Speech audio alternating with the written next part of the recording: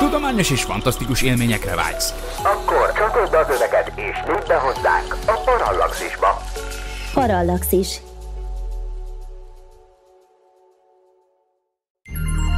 Figyelem! A műsorban spoilerek bukkanhatnak fel. 12 éven aluliak számára nem ajánlott. Az MD Média bemutatja.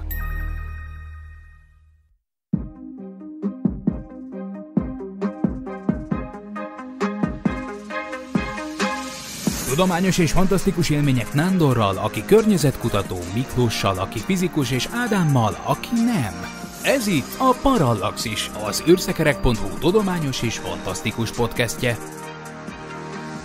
Sziasztok, ez itt a Parallaxis Podcast 36. adása, a mikrofonnál Horváth Ádám Tamás, és rendszerint ekkor mondom azt, hogy természetesen itt vannak velem állandó műsorvezető társaim, ám ezúttal Miklós mellett egy régi új kedves ismerős, Rezsabek Nándor tudományos újságíró és környezetkutató lesz a beszélgető partnerünk a Parallaxisban. Köszöntelek a műsorban, sziasztok fiúk! Szia, köszöntöm én is a kedves hallgatókat, sziasztok! Sziasztok, és sziasztok hallgatók! Nándi a Meteor Kráter expedícióval kapcsolatban kapcsolatban, aminek többek közt a Parallaxis Podcast és blog az egyik média támogatója.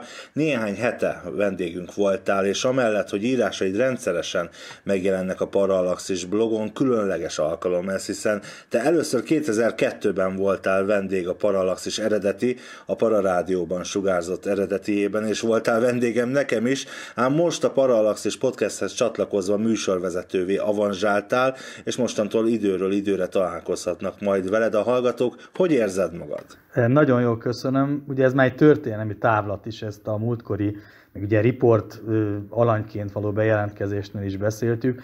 Ott ugye egy három éves időtáv volt 2002 és 2005 között, azért elég sokszor így megfordultam, de egy másik felállás volt nyilván vendégként, akkor ilyen aktuális, főleg ilyen csillagászati hírekről beszélgettünk.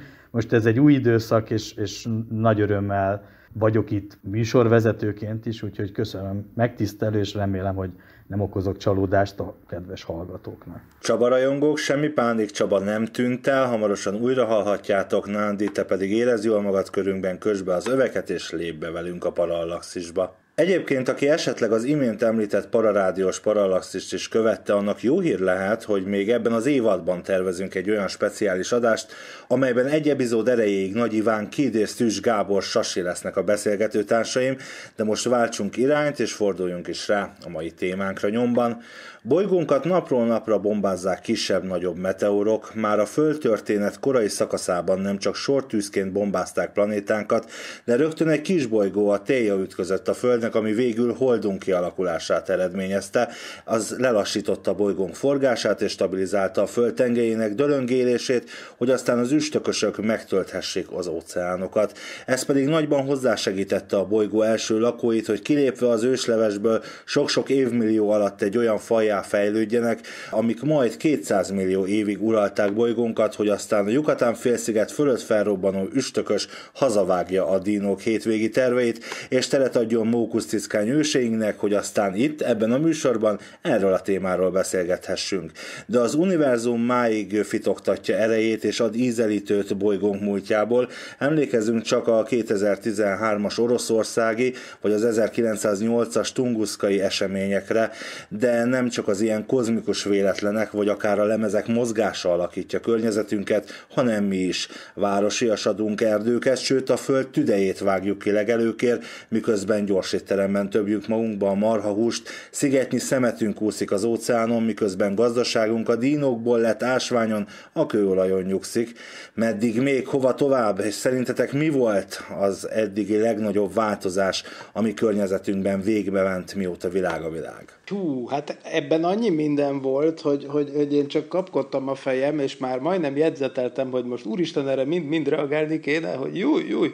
De hogyha már úgy kezdted, akkor szerintem az, hogy a, a világ alatt, persze most akkor a földünket ért, érted, hát azt, amit meglepve hallottam, hogy ennek a valaminek neve volt, vagyis utólag nevet adtak neki nyilván, ami a, a holdat kiszakította ugye a földünkből, de hát azért az kisbolygónak nevezni, ez kicsit erős, egy mars méretű égitest, vagy más számítások szerint egy kettő mars méretű égitest, tehát mindenképp egy bolygónyi tömeg volt az, ami a számítások szerint ne, hozzá koccant a Földhöz annak idején, és akkor szakadt ki belőle az, amiből aztán a holdunk lett. Hát azt hiszem, hogy hát valószínűleg az annál durvább pofon, az nem érte ezt a bolygót, az, a, viszont ugye arról épp ezért nagyon keveset tudunk, és akkor mindjárt át is passzolnám Nándinak a kérdést, mert ez engem mindig is érdekelt, hogy, hogy, hogy az, amikor a holdunk megszületett, ami tényleg elvileg így történt, hogy egy mars méretű másik bolygó beletrafált a Földbe, és akkor a kilocsanó anyagból töbörült össze a hold szépen lassan, az azelőtt egyáltalán meddig jutott el a földtörténet, mert ez meg annyira a naprendszer keletkezésének a legelején volt, hogy, hogy egyáltalán miféle bizonyítékok vannak például erre a sztorira? Mert az biztos, hogy utána is voltak durva dolgok, de hát ha az a kérdés, hogy mi volt valaha a legdurvább pofon, ami ezt a bolygót érte, akkor szerintem abban megegyezhetünk, hogy ez volt az, nem? Abszolút, tehát ez teljesen így van. Most itt a Ugye ez a legutolsó, vagy jelen pillanatban legelfogadottabb keletkezési elmélet a Holdra. Ugye érdemes megemlíteni a másik kettő, ami korábban gyakorlatilag ugye a fő iránt jelentette. Az egyik, hogy egyfelől egy együttes keletkezés, tehát a Földdel egy időjel keletkezett a Hold, a másik egy befogott kisbolygó, bár ugye ez a méret, ez ugye gyakorta, ugye ezt egy kettős bolygóként emlegetik a Föld-Hold rendszert a méretarányok miatt, de utána ugye a fő bizonyíték erre az volt, hogy tehát a holdnak az összetétel, illetve a földnek, a köpenyének a sűrűsége az gyakorlatilag egy közel hasonló érték, és ez volt a döntő. Amellett, hogy nyilvánvaló, hogy így a korszerű tudományos kutatás szempontjából ugye különböző szimulációk, stb., ami alátámasztották ezt, de ez valóban a legelején volt, tehát ez a föld keletkezés után nagyon röviddel, tehát azt a földet nem lehet összehasonlítani a jelenlegi, azon kívül, hogy nyilván ez a gömbszimmetrikus alak már megszületett, tehát abból a,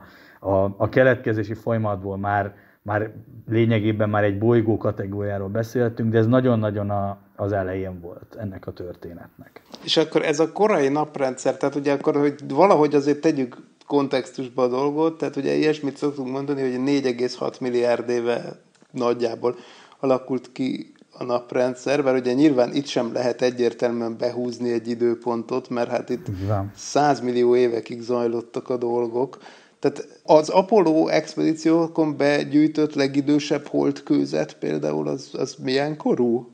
Gondolom a genezis kő, amit felszettek az Apollo 15-össel. De... Hát ugye itt különböző, tehát ugye nagyon lényeges, hogy azért a holdról hoztak, hát azt hiszem, ami 380 kilónyi kőzetet, és ugye itt az, hogy melyik pontosan, melyik idő, és ugye itt nyilván attól is függ a, a történet, hogy ugye melyik területről, itt nyilván valamilyen magmás kőzet, ami mondjuk a, a holtengerek környezetéből, akkor ugye a holdi felföldek, azok az idősebb kőzetek, de ugye voltak ezeknek a határterületein is mozgó mintagyűjtések, ugye itt nagyon lényeges mindig megemlíteni, amit ugye sokszor így együtt is emlegettünk, ezeket a, a szovjet lunaszondákat, amelyek nek az a lényeg, hogy mennyiségben jóval kisebb tömegben hoztak holdi mintát, ugye itt sokszor talajmintát mondunk, de ugye ezt, ezt így szakmailag gyakran kifogásoljuk, a holdon olyan értelemben nem beszélhetünk talajról, de, de ugye nyilvánvaló, hogy ez a holdi regolit, vagy olyan típusú kőzet, ami, amit ott begyűjthető,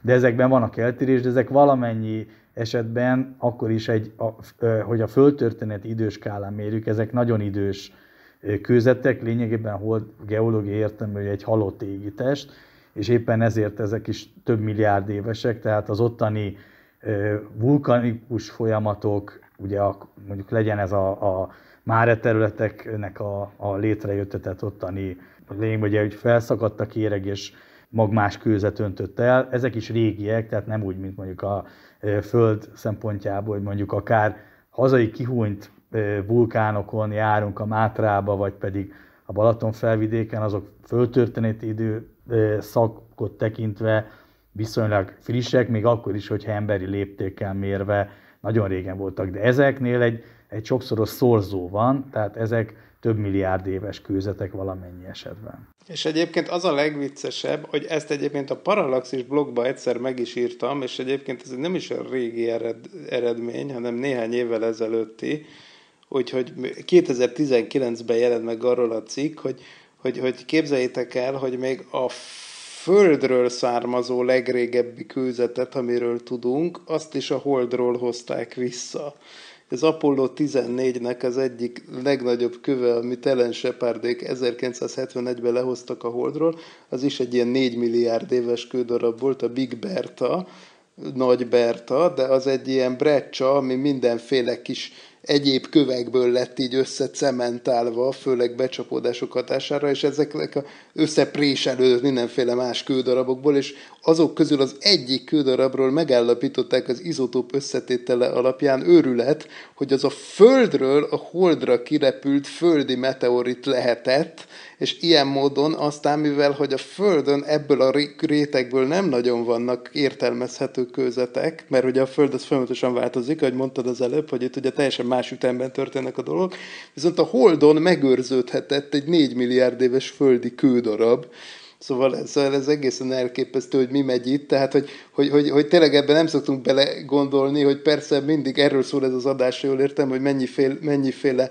kő, meg vas, meg, meg jégtömb repül neki a földünknek, de valójában a földről is repül mindenféle dolog kifelé, adott esetben eltalálja a holdat, és 4 milliárd évvel később meg egy földlakó visszahozza a földre. Szóval itt aztán tényleg hihetetlen, hogy milyen mértékben cserélik ezek az égitestek egymás közt az anyagot. Nem is gondolnánk. Hát mennyi esély volt arra, hogy abban mondtad 380 kilónyi kőzetben találnak földi kőzeteket is. Hát nyilván e, naivan azt gondoltam volna, hogy hát ilyen a világon nincs, de ehhez képest mégis van, tehát valószínűleg itt egy nagyon intenzív anyagcseréről van szó tulajdonképpen a naprendszer égitestjei között között, és szerintem ezt csak mostanság kezdjük fölfogni, hogy milyen, milyen mértékben nem elválasztott világok ezek ilyen értelemben. Igazából hogy repülhet ki valami a Földről? Tehát most így most a, mondjuk a téja ütközéséről beszélünk, arról az időszakról beszélünk, vagy... Folyamatosan, azóta hogy? is. Kon- konkrétan? Igen, tehát ugye most két folyamatot lehet megemlíteni. És ugye ez teljesen univerzális lehet ugye a naprendszer többi égitestjén. Konkrét példaként említem ugye a Földön is a gyűjteményekben lévő holdi meg marsi meteoritokat, hogy a holdra meg a marsra becsapódik egy, egy másik e, meteorit, az a, vagy egy, ugye egy, mondjuk egy 10 méteres mérettartományig beszélünk, ugye a fölött egy kisbolygó, ugye még meteoroidként ér a ottani légkör, ha van légkörnök, utána ott marsot vagy holdat ér, és a becsapódás után a kirepülő anyag jut el a Földre meteoritként, és, és csapódik be. A másik, hogy esetlegesen valamilyen vulkanikus folyamat révén kerül ki, ugye ez a, ez a két keletkezés van, a, a, ami ismert holdi, illetve marsi meteorit, azok vélhetően az előbbi folyamat, tehát egy ottani becsapódás, és lényegében a Földről is így kerül oda a Holdra, hogy valamikor egy becsapódás történt, ugye nagyon sok meteorit krátert ismernek, nyilván voltak olyan, amit nem ismernek, de a becsapódások száma nyilván ennél jóval nagyobb volt,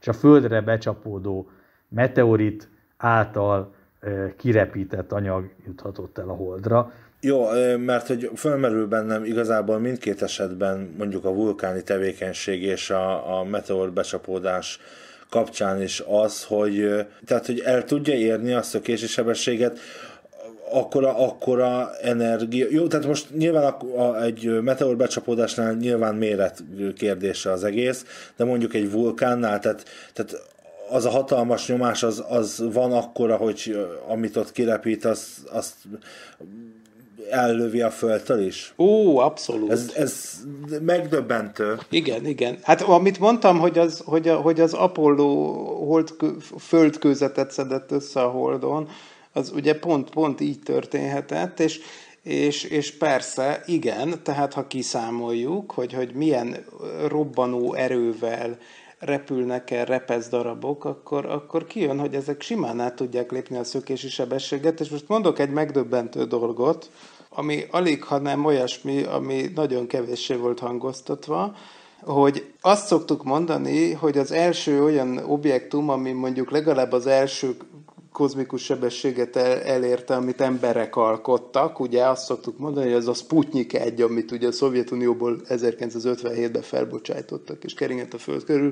Meg azt is szoktuk mondani, hogy az első olyan, ami még a második kozmikus sebességet is elérte, vagyis azt, ami már Föld körüli pályára, tehát ami már nem is kering, nem, nem is esik vissza, nem is kering a Föld körül, hanem tulajdonképpen a naprendszerben egy nap körüli pályára áll, vagy akár a naprendszert is elhagyó pályára. Az első ilyen ennél ilyen sebességű dolgok, mondjuk a Luna 1 űrszondát szokták említeni 1959-ből, ugye ahhoz 11 km per másodperc körüli sebesség kell.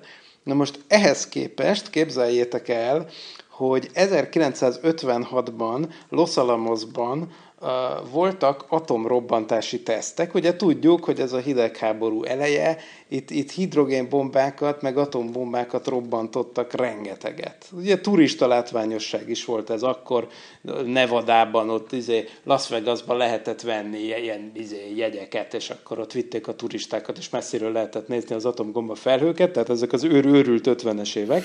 Na most akkor a lényeg az, hogy, hogy 1956-ban ezt akarom elmesélni, hogy történt egy ilyen kísérlet, hogy a Pascal B nevű nukleáris teszt során egy, egy, tulajdonképpen egy bödönben, valamiféle bödönben robbantottak egy bombát, egy atombombát, tehát egy, egy fedő volt rajta, egy 900 kg-os fedő, ami aztán a robbanás után, amikor keresték, keresni kezdték a lepezdarabokat, és nem találták meg. És akkor számolgattak, számolgattak a fizikusok, és akkor kital- ki, kikövetkeztették, hogy ez valószínűleg nem, nem 8, nem 11, hanem 66 km per másodperces sebességre gyorsult, és fölrepült fölfelé, és úgy elhagyta az egész naprendszert, mint a SIC. Tehát az emberiség első küldöttje a világűrbe, az nem a Sputnik 1, meg, sőt, naprendszeren kívül, az nem a Pioneer 10, nem a Voyager, nem, a, nem semmi ilyesmi, az egy kupak, ami lerepült 1956-ban egy atombomba tetejéről, és az mindmáig a leggyorsabb objektum, amit az emberiség valaha felküldött oda. És igen, vannak olyan meteorbecsapódások, amik egyébként egy ekkora ö, robbanó erejű bombánál, ö, amíg 12 kilotonnás bombáról van szó ez esetben egyébként, annál nagyobb, nagyobb energiával vágottak be. Például a bevezetőtbe említett dinoszauruszokat ki kiírtó becslések szerint olyan 10 kilométer átmérőjű aszteroida, ami, vagy, vagy mit tudom én micsoda, ami azt a Yucatán félszigetnél emlegetett krátert csinálta, az valószínűleg ennél lényegesen nagyobb robbanó erő volt, és akkor nem csak, hogy a naprendszerben, hanem ezek szerint bőven a naprendszeren kívülre is szórhattunk belőle törmeléket, hogyha a számítások helyesek. És ne felejtjük el azt sem, hogy ugye most itt marsi meteoritokat említettünk, tehát amik a marsról érkeznek, hogy egy ottani esemény, amikor ugye becsapódik oda egy másik meteorit, és kirepül az a kőzetanyag, amit eljut a Földre, ott egy jóval kisebb égritestről van szó, ugye a Földhöz képest jóval kisebb gravitációval rendelkezik. Ne felejtjük, hogy a marsi légkör sűrűsége lényegesen alacsonyabb a Földinél, tehát onnan sokkal könnyebben, tehát a, egy sokkal kisebb szökési sebességgel lehet számolni, és sokkal könnyebben kiszóródik ez az anyag, és utána évezredes, évtizedes skálán kerülhet ide a Földre. És ugye ez, hogy honnan mi származik, ugye nem csak a a Mars meg a Hold, nyilván a, a, a, esetleg a, mondjuk a külső naprendszernek a, a Hold rendszeréből is, nyilván azok nem jutnak ide, de ott ugye ezek ugyanezek a folyamatok megtörténnek. No, egy kicsit haladjunk időben hozzánk közelebb. 1908 Tunguska, 2013 Oroszország. Milyen tanulságokat szűrhetünk le ezekből az eseményekből? Tehát ugye a Cseljabinskra gondolsz, azért tegyük hozzá, hogy Tunguska is Oroszországban van, Igen. tehát ez mind a kettő, mind a kettő, hála a jó Istennek, hogy mind a kettő a teljesen üres, szinte alig lakott Szibéria világa. Hát a Tunguszkára kapcsolatban mindenképpen, Nándi, arra vagyok kíváncsi. Mindjárt, mindjárt elmeséled, hogy mi is volt ez, és hogy, hogy oké, okay, mit, mit értünk most ebből az egészből, ami ott történt az biztos, hogy, hogy egy óriási katasztrófa, ami az űrből jött. De még sokkal nagyobb katasztrófa lett volna, hogyha mondjuk ugyanez a becsapódás mondjuk néhány órával előbb vagy később történik, és mondjuk nem egy alig lakott területre, hanem mondjuk, mit tudom én, Budapestre pottyal le, ez az akármi, akármi is volt az. Tehát, hogy, hogy, hogy mit gondolsz te erről, mint a témának az avatott kutatója, hogy, hogy egyrészt tudjuk-e most már egyértelműen, hogy mi a túró volt a Tunguszka esemény, illetve, hogy, hogy igen, hogyha nem a tajga kellős közepén történt volna, hanem mondjuk itt, akkor hogy kéne elképzelni a, a Magyarországot, vagy annak a helyét. Igen, hát még mindig nem tértek napirendre e fölött a, a témával foglalkozó kutatók. Ugye, amit mindig ki lehet zárni, tehát, hogy azt mondom, hogy valami áltudományos, olyan típusú természetfeletti magyarázat, ami, ami előfordul, mondjuk Tesla megnyomott egy piros gombot, és akkor bekövetkezett az esemény, vagy valamilyen földön kívüli támadás, stb. De ezeket ugye nyilván kizárhatjuk, ezzel nem is érdemes nagyon foglalkozni, viszont továbbra sem tisztázott, hogy, hogy ugye ez egy esetlegesen egy üstökös mag volt, vagy egy porózus kisbolygó, ami biztos, ez ö, nagy magasságban felrobbant, tehát nem ért földet. Számomra mindig ugye ez egy döbbenetes dolog, hogy, hogy jóval később indulhattak a, a kutatóexpedíciók, és az a Kulik nevű geológus, aki ezt több alkalom is megtette, hogy lényegében néhány gramnyi meteoritikus testet találtak össze, és úgy tudom, az is csak ugye valamelyek később derült ki. Tehát egy hatalmas csalódás lehetett, most független attól, hogy, hogy magának a, a, a robbanásnak ugye a nyomait látták, hogy ez mindig előjön ez a kép, hogy akkor a, a fák kidőltek, stb. De ugye nyilvánvaló, hogy itt minden esetben kézbe akartak fogni, találni akartak valamit. Ugyanez van egyébként az amerikai az Beringer kráternél, ugye, hogy ott nem tudom, évtizedekig ástak abban a reményben, hogy gazdagá teszik őket, ez a földbe süllyedt vasmeteorit, amit feltételeztek, amikor még ugye nem is voltak tisztában, hogy feltétlenül ugye ez egy meteoritikus, vagy úgy mondom, hogy egy kozmikus esemény. Tehát nagyon érdekes, tehát az a lényeg, hogy jelenleg sem tértek napirendre, ez a két elképzelés van. Valószínűbb egyébként, hogy egy porózis kisbolygó volt, amelyik fölrobbant nagy magasságban, és ugye ezeknél azt tudni kell, minden esetben hatalmas nyomás, hőhatás van, tehát ezek legtöbbször ugye akkor is, hogyha elérik a felszínt, és éppen a, becsapódás pillanata lezajlik, maga ez az impaktor, a becsapódó testen elpárolog. Tehát lényegében egy szilárd halmaz állapotból egyből légneműben megy át, tehát ez rendkívül érdekes.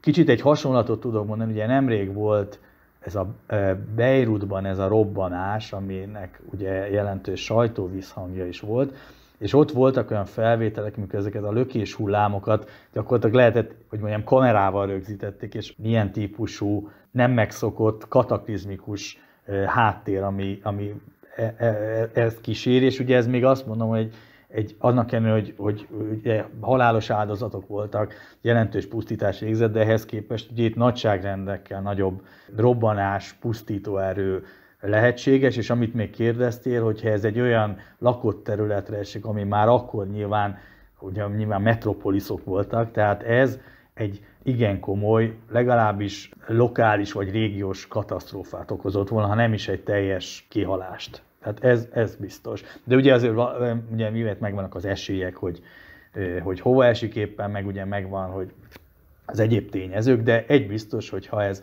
mondjuk egy lakott területre, ott nagyon komoly pusztítást végez.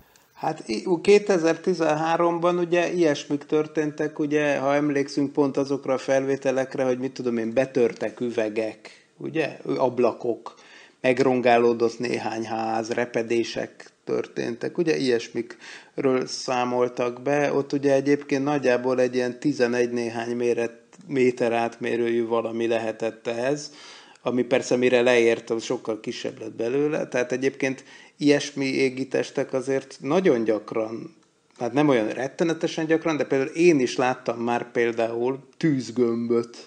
Ugye a tűzgömb az olyan, mint egy hullócsillag, és az is valójában csak, csak egyel nagyobb, mint a szokásos pici hullócsillagok, és például, amit én láttam Csehországban egy csillagásztáborban, az olyan volt, hogy nem csak láttam, hanem hallottam is, mert az már annyira lejött, és olyan brutális csóvája volt neki, hogy konkrétan lehetett hallani, ahogy ropog tényleg, tehát hogy már valószínűleg a hangsebesség olyan alacsonyra lejutott, és nem tudom, hogy végül becsapódott-e, ugye arról nem szól a történet. Ne, ott nem, ne, hát a napilapi híradások szerint nem történt semmi komoly akkor a 2007 környékén Csehországban, ahonnan ezt láttuk. De tényleg azok szoktak így kinézni, meg, így, meg így hallatszani, amiken néhány méteresek, vagy egy-két méteresek fönt talán, fél méter környékén már ilyesmi tud lenni, amik nem égnek szét teljes, teljesen odafönt, hanem például, hát amikből aztán met, met, meteoriteket lehet összeszedni, ugye, amiből Nándinak van otthon egy csomó. Na most ehhez képest a Tungusz, és akkor mi történik? Hát rosszabb esetben mondjuk kitörik, kitörnek az ablakok, meg ilyesmi. Most ehhez képest a Tunguszka az egy nagyságrendekkel komolyabb dolog. Tehát ott ilyen 100 kilométeres, vagy nem tudom pontosan, mert Nándi Javicskét évedek, de ilyen több 10 kilométeres sugarú tartományban történt az, hogy teljes, amit mondtál, hogy teljes egészében vízszintesre le volt tarolva körbe-körbe az erdő. Tehát, hogy konkrétan az, hogy hol történt az a robbanás, ezt egész egyszerűen abból lehetett látni, hogy, hogy, hogy, hogy tényleg egy kb. Száz, több száz négyzetkilométeres területen belül azt lehetett látni, hogy, hogy egy sugárirányba vannak kidőlve a fák. Tehát, hogy, hogy az, azért, azért a tunguszka, az, az nem tudom, most ugye nyilván vitatkoznak, hogy mi volt az, és nyilván ettől függ az is, hogy mekkora volt, mert hogyha tehát ha nem tudjuk, hogy mi volt az, akkor nyilván azt se tudjuk, hogy mekkora volt, de hát hogyha egy üstökös magból indulunk ki, akkor azért az, az hát akkor azért az egy, hát mondjuk, hogy több, több száz méteres valami. Ami érdekes volt a Chelyabinksnál 2013-ban, hogy aznap volt egy földsúroló, egy ö, kisbolygó, aminek tudták a jöttét, ugye gyakorta ezek a, a napi hírekből is bekerül, hogy a szokásos, hogy a buszméretű kisbolygó halad el a Föld, mert ugye ezek igen gyakoriak, ez mit tudom én, lehet olyan, hogy a földhott távolságon belül, vagy néhányszoros földhott távolság, még az is viszonylag közeli, de az a lényeg, hogy akkor, amikor ez a becsapódás történt, ugyanazon a, az éjszakán volt egy földsoruló, egy kisbolygónak az elhaladás, ami egyébként nagyobb volt magánál ennél a meteoroidnál, ami, ami vagy kis, egy mini kisbolygónál, ami ugye a Csejabinsk eseményt okozta, tehát hogy még aznap éjjel is volt, kiderült, hogy a kettőnek egyébként semmi köze nem volt egymáshoz, az egyiket tudták, a másikat nem tudták. Nyilván egy adott mérettartomány felett ugye erre vannak különböző programok, de erről majd beszélhetünk még, amivel ugye próbálják ezeket detektálni.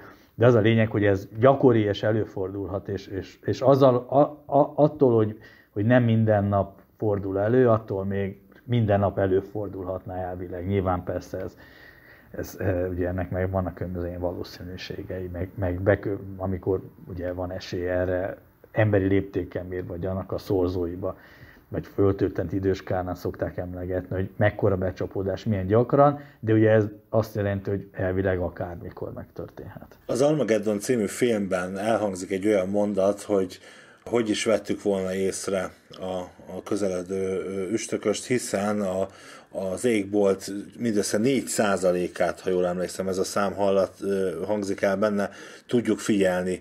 Mennyire, mennyire ismerhetjük a, a ránk veszélyt jelent, jelentő, vagy akár a naprendszerünkben megforduló kisbolygók mennyiségét, helyzetét, pályáját? Most erre azt lehet mondani, tehát egyfelől, ez honnan indult, hogy ezeket figyeljük. A 1994-ben volt a Shoemaker Lévi üstökösnek a Jupiterbe való becsapódás. Erre talán így a hallgatók is sokan emlékeznek. Az a lényeg, hogy amatőr csillagász távcsövek és meg lehetett figyelni, hogy egy Jupiter közelébe érkező feldarabolódott üstökösnek a egy tucatnyi darabja ugye becsapódik, nem a becsapódás, de viszont azokat a hatalmas becsapódási foltokat lényegében a Jupiter légkörében lehetett napokig látni, még kisebb amatőr csillagásztávcsövek, és ott döbbentek rá, ugye, hogy ez előfordulhat a Földön is. Ami addig egy teoretikus elképzelés volt, meg ugye valamikor történt a múltban, stb. Ott egy napi, azt mondom, egy ilyen környezeti katasztrófa képét vetítette el, és onnantól volt, hogy a különböző ír, űrhivatalok, az egyes vezető nagyhatalmak ugye erre pénzt áldoztak, hogy különböző automata távcsövekkel, meg egyéb módszerekkel detektálják. Az előadásomban szoktam egy, egy nagyon klassz ábrát mutatni, ami azt, mutat, ami azt ábrázolja, hogy lényegében bizonyos mérettartomány felett azért ismerjük azokat a földsúrulókat.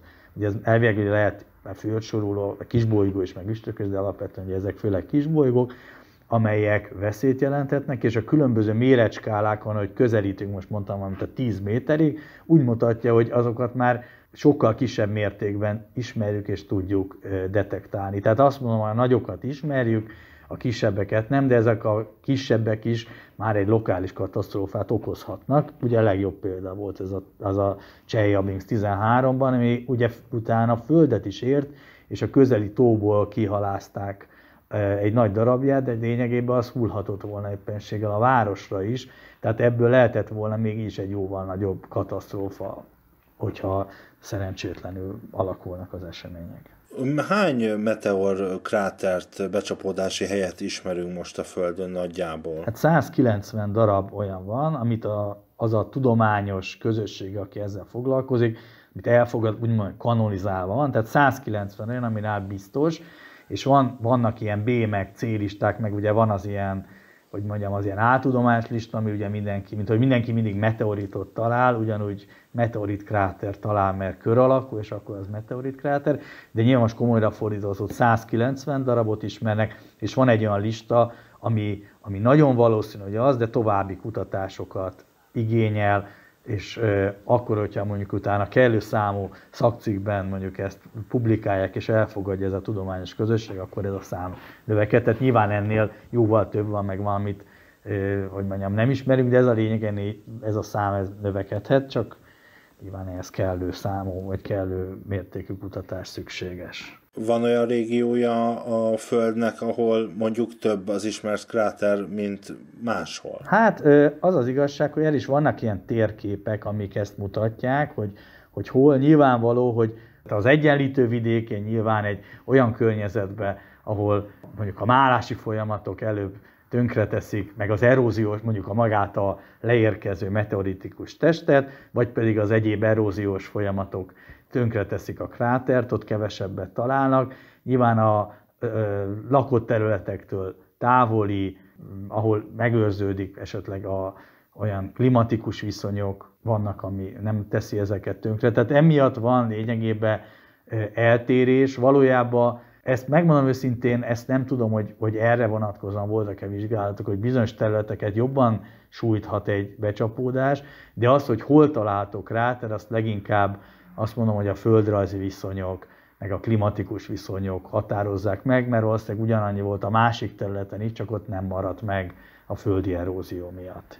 Hogyha jobban belegondolunk, amúgy talán maximum nagyon erőltetetten annyit lehet mondani, ugye, hogy, hogy a mindenkori ekliptika síkjához közel nagyobb a becsapódások aránya valószínűsége, csak ugye az is tehát ugye mi, mi, mi, miről beszélek, hogy ugye a, nagyjából a naprendszer, nagyjából, mondom csak közelítőleg, ugye az üstökösök esetében ez nagyon nem feltétlenül van így, de ha valamit akarunk mégis mondani, tehát nagyjából a naprendszer az lapos ugye rögtön a kezdetektől kezdve, hogy egy ilyen lapos porkorongból álltak össze az égitestek, a kicsik is és a nagyok is. Hát a naprendszer az nagyjából lapos, ez azt jelenti, hogy a találkozásoknak a legnagyobb valószínűsége abban a síkban van, ahol a bolygók meg a, meg a kisbolygók mozognak, és persze ugye a Föld jelen, jelenleg például a Földnek a, a forgás tengelye, az ugye ezzel, ezzel bezár egy, egy, egy ilyen szög, szöget, tehát ez azt jelenti, hogy egy nagyjából ilyen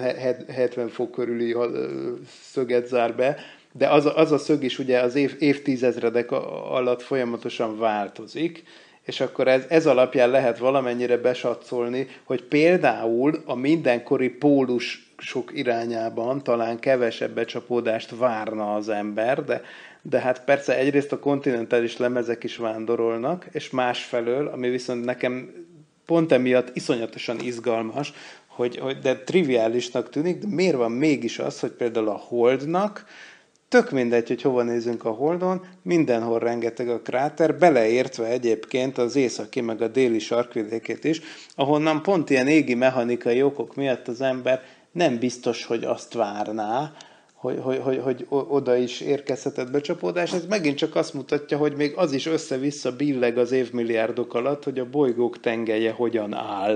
Tehát a bolygók azok tényleg úgy mozognak, mint egy búgócsiga, e, és, és, és emiatt aztán minden, amit mi azt hiszük, hogy hát ez mindig is így volt, hogy most megtanuljuk, hogy a, a sarkcsillagot mindig észak felé látjuk, hát mondjuk, mondjuk akár csak 20 ezer évvel ezelőtt ez tökre nem így lett volna. Szóval igen, ezek a fantasztikus dolgok, ezek a geológiai, meg egyéb időskálák, hogy itt aztán minden van. És akkor ez azt jelenti, hogy végül is bármilyen irányból jöhetett becsapódás tulajdonképpen, én úgy gondolom én is. De, de az megint egy érdekes kérdés, hogy miért csak 190 valamennyi, miközben a Holdon tele vagy kráterekkel, hát nyilván a Föld, Föld is megkapta a magáét, csak itt azóta úgy, itt ugye erózió, igen, ugye eleve van egy légkörünk, a szűri a kisebbeket. Meg geológiailag is aktív a Föld Igen. ellenben mondjuk a Holdal, ezt a Nandi említette. Figyelek, én egyébként egészen úgy érzem magamat, mint egy ilyen előadáson, ahol két témához értő ember előad, és én figyelek, úgyhogy mennyi esélye van, mert hogy azért szerintem a hallgatóink már hozzászoktak, hogy mi mindig a katasztrófák közelébe szeretünk turistáskodni, és azért adja magát a kérdés, és felmerül, és engem is nagyon érdekel, hogy nyilván mindenre van esély, de mennyi esély van arra, hogy hirtelen most mi itt beszélgetünk, csináljuk a műsort, és egyszer csak elvörösödik az ég, és egy hatalmas nagy üstökös vagy meteorit belép a, meteor belép a légkörbe, és felrobban, és vége a világnak, vagy stb. stb. Tehát, hogy mennyi, mennyi esélye van, mert ugye Nándi említette, hogy, hogy azért a nagyobbakat ismerjük, de lehet az, hogy egyszer jön egy óriási? És mi van azzal az apófisszal, ami állítólag majd, majd jön? Ott áll, állítólag azért az esély az, az ö, ö, ilyen léptékben azért ö, nem elhanyagolható. Legyen rettegni való? Legyen már egy kicsit, rázzuk már föl ezt a felolvasást itt a Titkos Útklub ma esti szekciójában egy kicsit rázzuk fel a dolgokat valami jó kis világvége izével. Hát nem tudom, meg tudna minket lepni egy üstökös? Mondjuk, ha hülye irányból jön, akkor elképzelhető, hogy nem vettük volna észre. Pú, passz, nem tudom. Azt mondanám, hogy nem lehet, az olyan uncsi lenne. Tehát, hogy mondjuk a nap felül érkezik olyan tempóban, hogy, hogy nem vesszük észre, és mire észrevehetnénk, becsapódik. Tehát szerintem a világ mindegségben, az univerzumban minden lehetséges, van, van ennek bármi reális esélye? És most ez reális esélyt, ez olyan pozitív kicsengése van, de hát természetesen nem annak szurkolok, hogy legyen egy bolygó becsapódás, de hát... Az, nem, nem, az egy para, az egy para, amit mondasz, hogyha olyan irányból jön, hogy, hogy az égen közel van a naphoz, akkor ugye nehéz időben észrevenni a kisebb dolgokat, mert hogy valóban, ugye akkor az azt jelenti, hogy közel van a naphoz, tehát akkor akkor van fönt az égen, amikor, amikor nappal van. És akkor ugye a csudatávcsövek, amik azért most már jobbak, mint amikor az Armageddon forgatták 98-ban, bár az adat szerintem akkor is baromság volt, de most már azért nem csak az égbolt 4%-át nézik, hanem nagyon rendesen szkennelik az egészet, de hát az, az még mindig egy probléma, igen, hogy a nap, nap felé nézve nehéz őket észrevenni. Ezért egy csomószor előfordul olyan, hogy néhány nappal később vesznek észre, jó, nem egy bazin egy üstökös, de mondjuk néhány ilyen, mint amit mondott a Nándi, ilyen buszméretű dolgokat, hogy utólag veszik észre, hogy hoppá, ez izé elsuhant itt 40 ezer kilométerre, érted, olyan magasan, mint ahol a távközlési műholdak vannak kb. Sőt, olyan is volt, hogy még annál is közelebb elsuhant egy, és akkor három nappal később vették észre, hogy ja, ez itt volt, hoppá, nem vettük észre. Tehát ennyi erővel simán, hogy el, elvörösödik-e az ég, az ugye, az egy más kérdés. Hát ezt ugye te vagy a média szakember, hogy hogy kell kinézni egy tisztességes világ végének, de hát ez, ez egy más El kell kérdés. az égnek szerintem. El kell, hát. igen, igen. Elengedhetetlen. Igen. Nandi?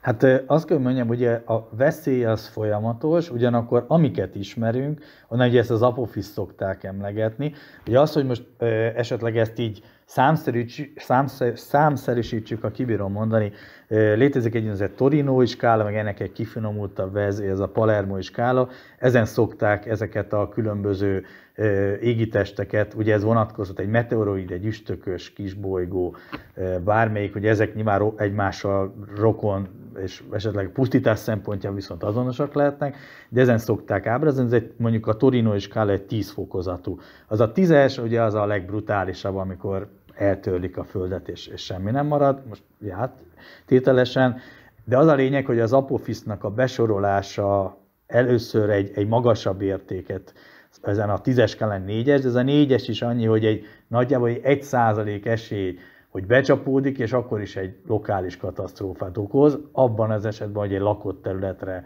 esik, de ugye ennek nem kevés azért az esélye, hiszen az apofiszt után visszaminősítették gyakorlatilag egy abban a nullás kategória, ami nincs veszély. Az a lényeg, hogy pontosabb pályaszámításokat végeztek. Ez veszélyt jelent, akkor nézzük meg. Jobban utána bebizonyították, hogy nem okoz veszélyt. De ez nem azt jelenti, hogy nem lehet már, nem mondjuk egy, az üstökösök még kiszámíthatatlanabbak, kettő ezeknél a földsorolóknál ugye nem ismerünk mindent, tehát itt elképzelhető, meg az is lehet, hogy nyilván Ugye egy naprendszer egy, egy dinamikus rendszer, tehát itt ugye lehetnek különböző pályaháborgások, tehát azok az égitestek, amit most mondjuk ezen a Torino és Kálán mondjuk nullásnak ítélünk, vagy egyesnek, ami szinten azért nagyon minimális az esély, ugye ez változhat, tehát egy nagyon kismértékű bármilyen esemény, most akár, hogy mit tudom, egy, egy, egy meteorit becsapódás egy kis bolygón, ami megint előfordulhat, és elképzelhető, hogy ez mondjuk egy nagyon kismértékű változás, egy olyan változást indít be, amivel utána veszélyes lehet a Földre. De ugye ezért kell ezeket folyamatosan figyelni, ezzel foglalkozni, és nyilvánvaló, hogyha valami történik, valamit tenni, ami ugye megint egy jó kérdés, hogy mit lehet tenni, de legalább felkészülni ezekre az eseményekre. Mit mér a skála? Tehát egyfelől egy valószínűséget néz, hogy mennyi a valószínűsége annak, hogy megtörténik. Lényegében egy becsapódási vagy, vagy hogy mondja, egy mozgási energiával számol, ugye, ami nyilván egy becsapódásnál érdekes, és ezeket kombinálja azzal, hogy lényegében egy, egy fehér, zöld, egy sárga, egy narancs és egy piros részre osztja ezt a tízes skálát, ugye a piros, ami már, tehát így a veszélyesség szempontjából a leg, jelentősebb, ami a fehér, az a nincs veszély, meg a zöld az általános, ahol gyakorlatilag nem történik semmi, és az a helyzet, hogy nagyon kevés az a, egyáltalán az égítés, mint ugye említettem az Apophis Egyetem, hogy a sár, ami bekerült egy rövidítig a sárga kategóriába, de olyat nem ismerünk, ami veszélyes, vagy, vagy piros, biztos becsapódás kategóriába esne jelen pillanatban. De azt is el kell mondani, hogy még ezeknél is sokszor oda esne annak a valószínűsége kicsi, hogy ez megtörténik, ugyanakkor viszont az a, a pusztítás esetleg egy olyan energia, ami viszont nagyon brutális lehet. Tehát eznek a kettő kombinációja meg még lecsökkenti azt, hogy tényleg valami történjen. De mondom, nem kizár. De engem azért nyugtalanít egy kicsit az, hogy ahogy elmondtad a 2013-as eseménynél is, volt egy föld súroló vagy föld mellett elhaladó ö, aszteroida, és mellette volt ez, amit nem vettünk észre, tehát hogy azért ö, ez, ez egy kicsit, kicsit nyugtalanságra ad szerintem okot, de menjünk egy kicsit tovább, és menjünk kifele a naprendszerből, mert hogy időről időre gyakorlatilag valami az ortfelhőből kimozdítja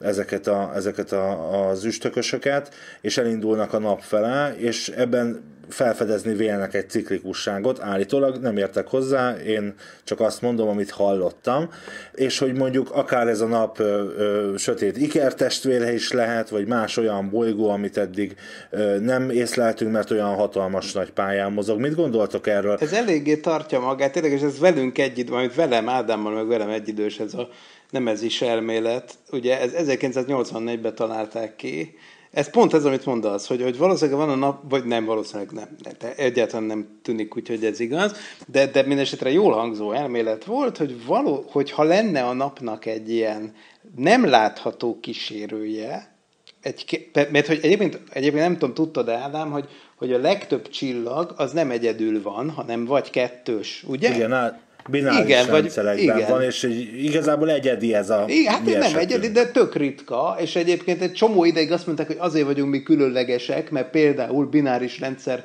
körül nem is alakulhatnak ki bolygók, tehát olyan, mint amit a Tatooine bolygón látsz a csillagok háborújában, hogy olyan nincs is. Na persze most már tudjuk, hogy van, sőt már meg is figyeltek ilyen rendszerbe keringő exobolygókat. Na mindegy, és akkor valaki felvetette, hogy oké, okay, mi van, hogyha, mi van, hogyha a nap is egy kettős csillagnak a tagja, csak egyszerűen olyan halvány, egy úgynevezett barna törpe csillag a párunk, ami tök messze van egy valamiféle elnyújtott pályán, hogy észre se vesszük. Hát mondjuk ilyen lehetne, és azt is kis, és, és honnan jött az ötlet? Tényleg onnan volt, hogy hát ha nagyon akarom, akkor a, a geológiai idősorban bele tudok látni egy ilyen 26 millió évente ismétlődő kihalási hullámot, tehát azért ez nincs pontosan így, tehát azért, ha nagyon akarom látni, akkor látom, ha nem, akkor nem. Hát mondjuk ott például, hogy a dinók voltak mondjuk 65 millió évvel ezelőtt, most az egyel későbbire talán rá lehetne húzni, ott akkor volt, volt valami kisebb kihalási esemény, tehát aztán nem mindig, nem mindig stimmel ez, de, de, de majd ezt Nándi kiavít, de hogy az volt az ötlet, hogy 26 millió évente, minthogyha történne valami ciklikusan valami nagy kihalás. És akkor erre egy elegáns magyarázat lett volna, igen, hogy egy elnyújtott pályán kering egy kísérője a napnak, amit nem, nem is látunk, de néha közelebb jön, és akkor beránt rengeteg az ortfelhőből, tehát a naprendszer nagyon-nagyon külső részéről, ahol ugye lényegében a, az üstökös magokat tároljuk, tárolja a naprendszer, az akár majdnem egy fényévre kilóghat, tehát ez egy bazinagy gömbszimmetrikus felhő. Nem látta még senki persze, csak hogy feltételezzük, hogy van egy ilyen. Onnan beránt egy csomó ilyen üstökös magot, ez a nemezisnek, ez a szörnyű 26 millió év, évente fellépő közelsége, és akkor hirtelen megnő az üstökösök sűrűsége, tehát akkor 26 millió évente, ha kimegyünk és kinézünk az ablakon éjszaka, akkor azt látjuk, hogy tele van az ég üstökössel. Hát mondjuk ez, valami ilyesmi az ötlet. Egy, azért veszik egyre kevésbé komolyan, mert valószínűleg ezt most már kéne tudnunk észlelni. Most már nagyon jó infravörös űrtávcsöveink vannak. Ugye 1984-ben még, még ki lehetett dumálni azzal, hogy ha lenne egy ilyen, akkor azt a Földről nem kéne látnunk. Mert, mert a barna törpe az nem világít, hanem csak mondjuk infravörösbe látszik, viszont az infravörös hullámos tartománynak a nagy részét a föld, föld légköre az kiszűri, tehát a komolyabb infravörös űrtávcsöveket az űrbe kell felküldeni. És, és, és hát 1984-ben még nem volt akkor a lefedés, de hát most már azt mondják, hogy valószínűleg most már például a 2000 tízes években felküldött WISE, Wide Field Infrared Survey Satellite űrszondával már kellett volna látnunk ezt a neve, nem ez is sajnos, ha lett volna. Imádom ezeket a betű szavakat. Ezek teljesen hülyék, teljesen hülyék. Hát az Osiris Rex, tudod, ami most egy, pont egyébként egy kis bolygó, hát ilyet, ez, ez a bekronimek mesterei. Mind, mindig összeraknak valami jó betűszót a srácok. Szerintem egy, egy, egy verseny van ott a názánál ebből, hogy, hogy kirakja össze a legbonyolultabb izéket. Volt egy kis űrszonda, ami vett egy kb. Gellért hegynyi méretű kisbolygóról egy, egy, egy 60, 60 gramnyi anyagot, amit majd három év múlva hazajön a jutai sivatagba ejtőernyővel lepottyan, elköltenek rá egy milliárd dollárt, hogy olyan anyagjuk legyen otthon, amilyen például szerintem Nándi neked van otthon már most, ugye? Igen, igen. Egyébként még a nemez is, ez egy mondat.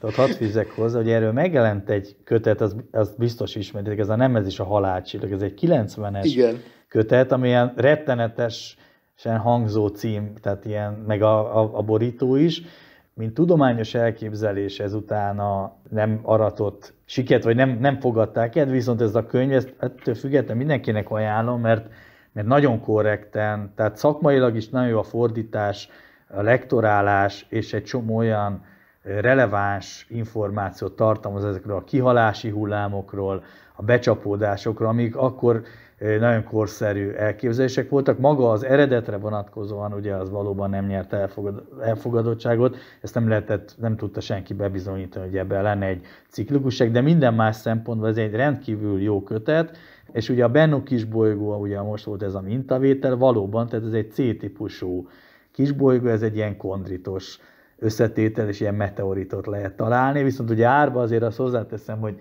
hogy azért nagyon boldog lennék, ha jelen, ez egy kicsit úgy lehetne összehasonlítani, mint hogy ugye vannak holdi meteoritok, nekem is, meg Marsi, ugye a holdról hoztak mintát, ugye említett Luna, ugye az Apollo, viszont azok, úgy mondom, hogy eredeti holdkőzetek, amiket úgy szedtek, tehát ott azok, az, gyakorlatilag nem lehet hozzájutni, vagy ha lehet, van olyan árverés, mert az oroszok ugye azokból a néhány gramnyiból is ugye árverésre bocsátottak, hogy az ilyen megfizethetetlen horror áron van, attól függetlenül, hogy egy olyan típusú összetételi holdi meteorit, mit tudom én, az melyik, mit tudom én, valamelyik ilyen brecsás, vagy, vagy lehet, hogy valamelyik magmás kőzet, mint holdi meteorit, az viszonylag olcsó meg lehet venni. És ugyanez lenne igaz a Bennunál, hogy ilyesmi van otthon, ez, ez tény, és gyakorlatilag szinte úgy lehet, még különbséget se lehetett tenni, de hogyha lenne egy eredetiség igazolás, én lennék a legnagyobb király ezzel a gyűjteménybe, a nem tudom hány milligrammal, és akkor ezért nagyon büszke lennék. Külön műsort lehetne szentelni neki. Hát ott, szóval ilyen szempontból érdekes. Lehet a, úgy mondom az eredet, hogy honnan, honnan szedik. Még ha azt mondom, hogy az összetétel maga az valószínűleg ugyanaz, és, és ugye ezt azért ismerik meg, meg nem, nem újdonság. Akkor mi értelme van az ilyen akcióknak. Ugye a, emlékszünk, ugye a Csurinov, Gerasimenko-ra is ugye leszálltak, ott ugye onnan nem hoztak anyagot vissza, jól emlékszem, ott csak így ilyen leszálló egység. Mert meg a keringő egység, az dolgozott csak igazán, a szegény leszálló egység egy kicsit rossz helyre került. Igen. Ja, igen, igen, de jól emlékszel amúgy. De egyébként például Üstökösnek a csóvájából már hoztak mintát. Hát a felszínéről nem is, de például a Stardust nevű küldetés, az a 2000-es évek elején az hozott 2006-ban mintát. Ez most azért tudom, mert a legutóbbi szokolébresztőn a Werner Nordbővel pont ilyesmi, ilyesmikről beszélgettünk, szóval igen, jönnek haza ezek az anyagok szépen lassan. Most újra mond, mondtuk a Lunát meg az Apollo, de kínai barátaink még idén terveznek a Holdról újabb mintát hozni. Jön, jön, jön szépen, most végre az űrkutatásban megint megnyitottuk a bevétel rovatot, tehát csak nem az van, most már nem csak az van, hogy kifele megy a tömeg a Földről, hanem, hanem befele is jön néhány gram. Igen, ezt várjuk is, várjuk is, és a másik, hogy egyfelől valahol ugye néha értelmetlennek tűnnek, mert hogy van hasonló, de azt soha nem szabad elfelejteni, hogy, hogy itt azért emögött mindig van egy, egy, egy modernkori földrajzi felfedezés. Ez, hogy ugye mindig fölmerül, hogy most miért kellett a holdra menni, nyilván ennek megvoltak ugye a, akkori a világpolitikai okai, meg, meg műszaki, tudományos, technológiai okai, tehát ez rendkívül bonyolult volt, annyira, ugye néha leegyszerűsítjük, de ez jóval bonyolultabb, de minden mögött ott van az, hogy az ember egy felfedező lény. Modernkori földrajzi felfedezés volt az is, és azt mondom az is, hogy most a Bennuból mintát vettek, nyilván egy mostani viszonyokra adaptálva. És ezt soha ne felejtsük hogy akkor is lesznek ilyen missziók, tehát amíg lesz, aki ezt mondjuk finanszíroz, és mindig lesz, mert nyilvánvaló, hogy, hogy világhatalmak mindig voltak, akik mindig a politikai, meg a katonai hatalmuk mellett ugye jó fiúként a tudomány meg a technológiára áldoztak, plusz ez még most ugye hozzájön az is, hogy nyilvánvaló itt egyfajta gazdasági hasznosítás is már egész közel van, ugye ez a űrbányászat Holdon, majd a Marson vagy kisbolygókon, ami, ami teljesen reális, és nyilvánvaló, hogy ez lesz az egyik fő mozgatórugó egy idő után a katonai alkalmazások, vagy, vagy szálak mellett, meg az ilyen nagyhatalmi mutassuk meg, hogy mi az űrbe is jobbak vagyunk mellett, hogy nyilvánvaló, hogy lesz egy ilyen, és ezek viszont jelentős mértékben elő fogják mozdítani azokat a, a úgy mondom, hogy műszaki fejlesztéseket, meg tudományos kutatásokat, alkalmazott kutatásokat, ami, ami szükséges lesz ehhez. Szerintetek mennyire vagyunk a, attól, hogy mondjuk megérje technológiailag is bányászni mondjuk aszteroidákon? és ez mennyiben fogja megváltoztatni a mi életünket? Hát én, én őszintén szólva nem nagyon sikerült nekem még mindig felfognom, bár annyira mondják, hogy ez az űrbeli nyersanyag kitermelés, ez most mennyire fontos lesz, de én még nem érzem azt, hogy még erre rá lennénk szorulva, vagy akár csak a közelébe lennénk annak, hogy rá lennénk szorulva. Tehát, hogy egy kicsit, kicsit, őszintén szólva, én egy kicsit lufi szagot érzek amikor azt mondják, hogy most már, amit tényleg mondják, hogy Nándi is mondja, hogy ezt most nagyon mondják, de, de az én agyvelő még, még nem jut el, hogy, hogy, hogy most még egy emberöltön belül most oké, okay, tegyük fel, hogy mondjuk század annyiba fog kerülni az űrutazás, mint most. Meg nagyon ügyes automatáink lesznek, meg, meg izé, végre beindul a magfúzió, és térdig járunk az energiába. Tehát, hogy ne, ne, nem nagyon tudom, hogy, hogy mi, mi lenne az a nyersanyag, és most geológ, geológust, akkor kérdezzük meg, Nándi, hogy van olyan nyersanyag, amiből ennyire rosszul állunk, hogy tényleg el kell menni a kis bolygóövbe, hogy beszerezzük, és a Földön, tehát tényleg, tényleg van ez a probléma? Hát én ezt ö, úgy mondom, most kozmikus időskálán lehet, tehát jelen pillanatban nincs, de viszont szerintem a, ugye itt a különböző elektronikai termékeknél, stb. ugye gyakran előkerül, hogy itt dolgoznak olyan összetevőkkel, amiben ugye nagyon kis mennyiségek vannak. Ugye a legjobb példa Kína, ahol sok esetben ott vannak olyan nyersanyagok, de ezek nyilván olyan kis mennyiségben vannak, vagy pedig egy idő után annyira gazdaságtalan, és vagy esetleg lehetetlen hozzájutni, hogy, hogy ez egy ö, emberi lépték egy idő után kimerülhet, és ez vihet egyfelől. Másfelől nyilván egy olyan űrtechnika is előlépett, amikor Ugye itt az űrturizmus kapcsán is ugye előkerül, hogy ez már lehet, hogy egy mindennapos